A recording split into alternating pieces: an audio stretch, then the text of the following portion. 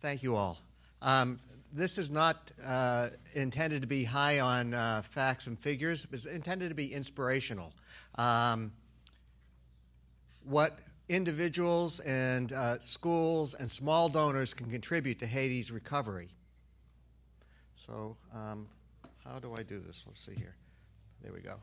Um, everybody knows the earthquake uh, struck on January 12th. Uh, here is the, um, the capital. Project Medi-Share, as Brian has said, has been operating in Haiti uh, for the past 15 years.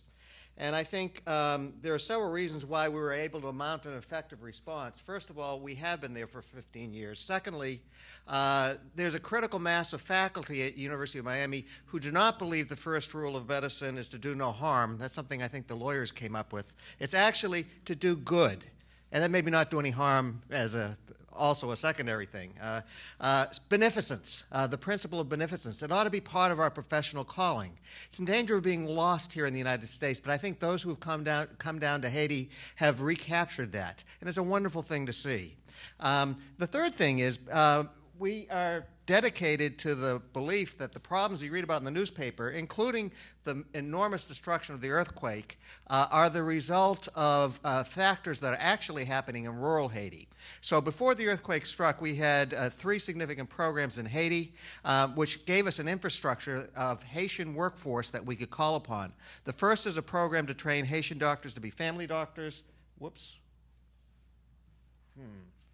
Uh, up in Cap uh, which is up at the very top of the city. We've graduated 35 residents in family medicine.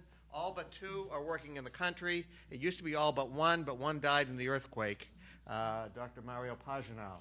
Uh, we are also in the, in the uh, Central Plateau, a very rural area up here, where we're conducting health and community development programs.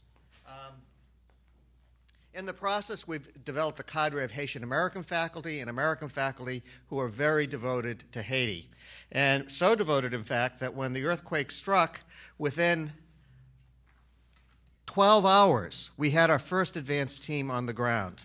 And part of the inspiration is not just what the University of Miami has been able to do, uh, but um, what, how the entire South Florida community, at all levels of society, rallied around uh, Project Medi-Share uh, to try and do something significant in response uh, to this. Uh, private citizens, wealthy private citizens, donated their jets, and within two days, we had three trips a day uh, shuttling back and forth to Haiti with volunteers and supplies.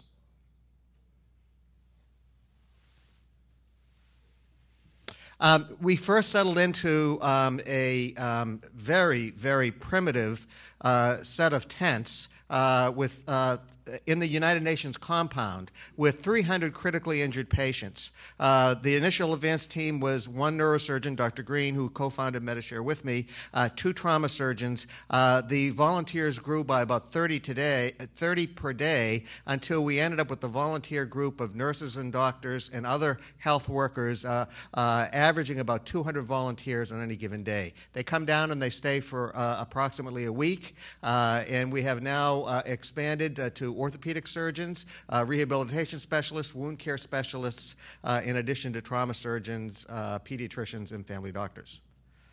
Okay, this is our original tent with our original 300 patients. Uh, we had no running water, we had no toilets. Uh, we did, however, have a, a, lot of equipment and supplies, which allowed us to make an incredible difference. Um, so I'm going to run through these slides because we are pressed for time because I want to continue with the inspiration. Um, in the first few weeks, we saw over 2,000 uh, uh, patients. We are now up to 20,000 patients we've cared for uh, since the earthquake.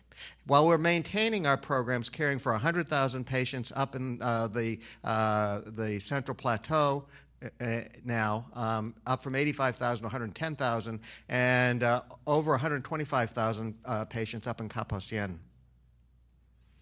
Um, It's a long, involved story. You'll get to see the star of this story in a minute. Uh, but a famous Miami basketball player uh, came down, uh, was so moved by what he saw uh, that he came back and forced our local basketball team to donate four event tents. And these became our field hospital. So we now had a, a pediatric ward, an adult ward.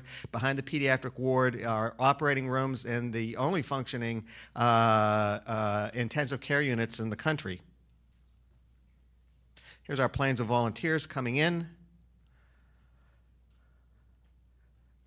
We had a lot of celebrities. Uh, funny aside, um, there are only two ways into the country. Um, uh, uh, after the, immediately after the earthquake. You could either fly into the Dominican Republic and then get a car or a truck and try and get into the earthquake zone, or you could hitch a ride with one of the Project Medi-Share volunteer planes. Uh, so we ended up having a lot of uh, celebrity uh, um, uh, newscasters staying at our tent. Um, when the Comfort came, uh, the USS Comfort is a hospital ship. Uh, uh, even the Comfort uh, ship, which, uh, um, Michael, how many beds does the Comfort have? Yeah.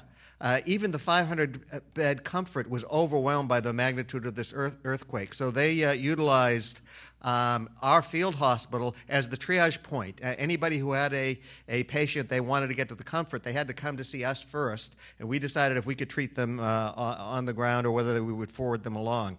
Since the comfort is left, we have really picked up uh, that role of, um, of taking care of the most critically injured uh, patients. We are now getting volunteers from uh, uh, all around the country. I am proud to say that uh, George Washington University were among the first non University of Miami volunteers uh, to come down, and they continue to help.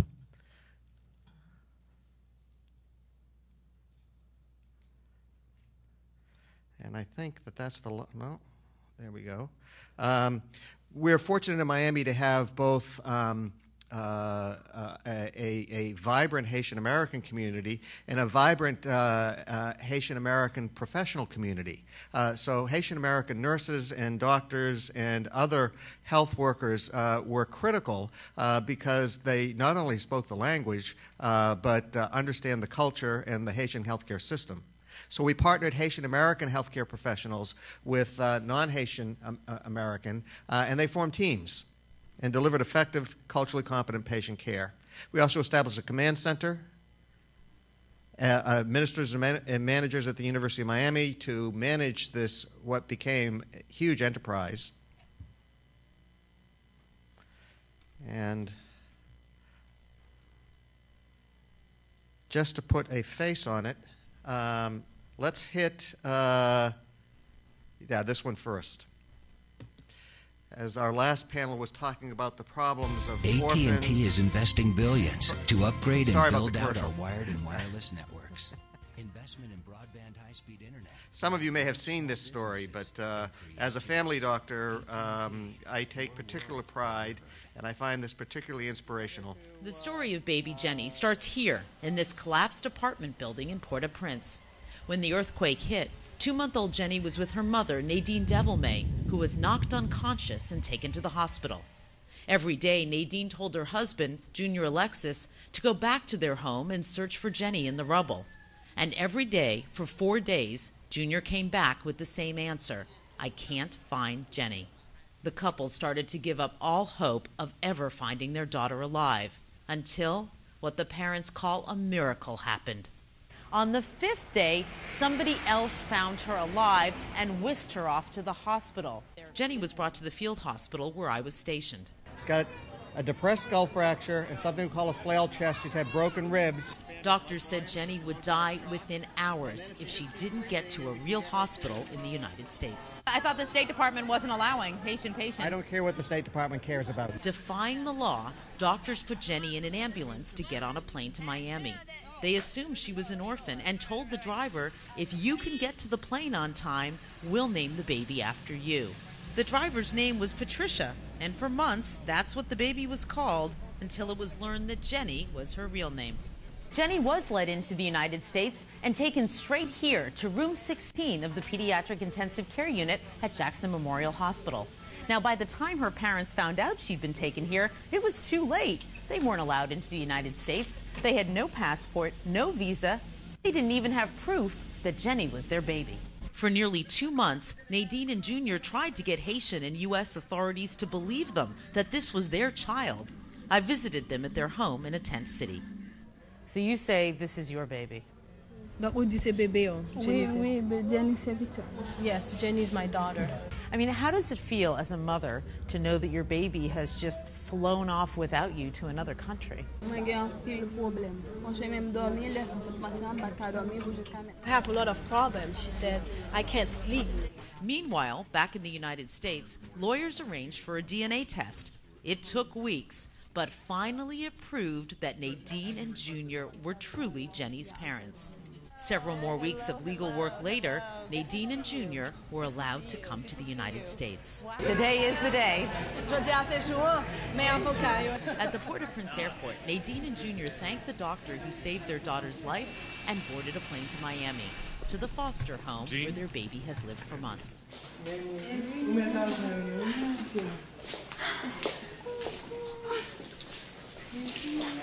Absolutely ahead of the developmental curve. A happy that most of the reunion for parents who once thought their daughter was dead in the rubble of Haiti's earthquake.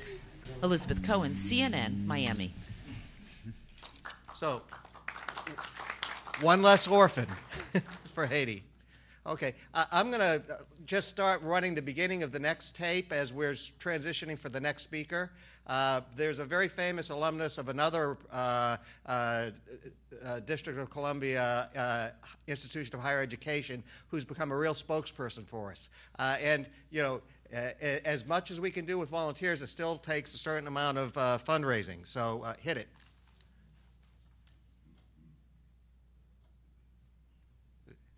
Is, that other school Mourning Georgetown? Yeah, I Miami think Heat. I've just returned from Haiti, helping Project Medishare with the earthquake relief effort. I've never seen anything like the destruction and the need. I'm calling now to ask for your help. If you've already made a donation, we thank you. If you can give more, please do. If you're not giving yet, I urge you to do so today. Project Medishare is doing heroic work around the clock. They're saving lives, but we need your assistance to reach more people in desperate need right now. Please help.